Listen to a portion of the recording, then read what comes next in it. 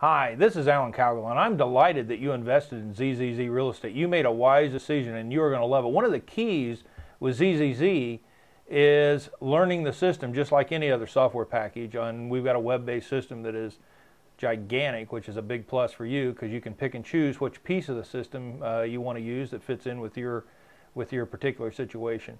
What I'm going to do is walk through um, how I got started and some of the problems that I ran into along the way.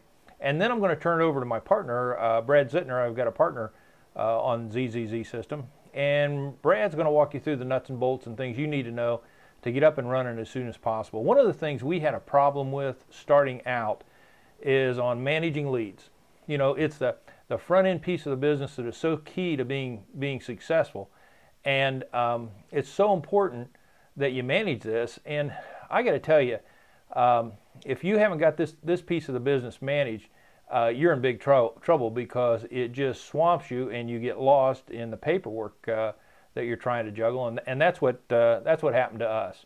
Um, when you're managing leads, initially what happened was I'd get uh, MLS sheets and uh, I just tossed them in a folder on my uh, on my desk in the office. And you know, frankly, there's no way to keep organized, but uh, uh, there was a better answer.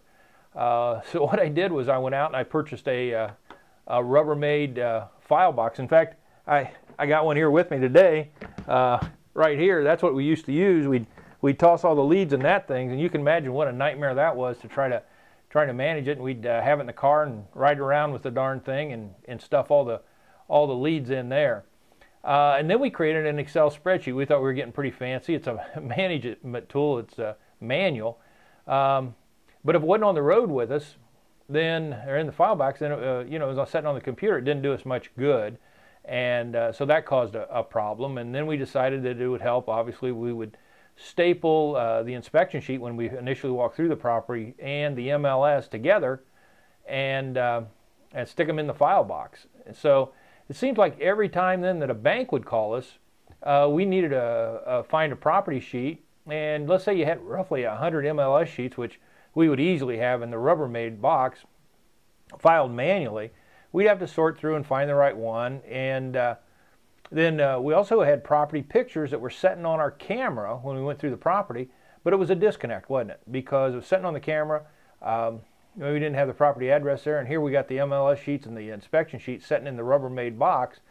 Uh, all of these uh, had problems of not having access to key information at the, the, most important time is when we needed it. We needed a better, better way.